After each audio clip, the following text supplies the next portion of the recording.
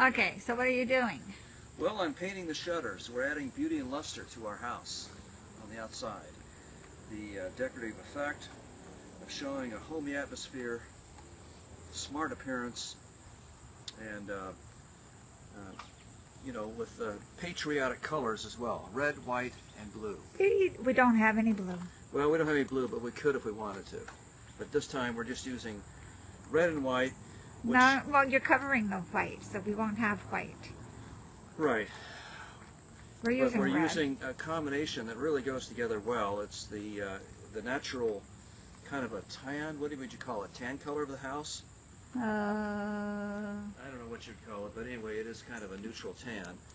And uh, this is the yellowish tan. this is the red, uh, the dark red that goes in. You know that that mixes well with it. That adds uh, proper contrast.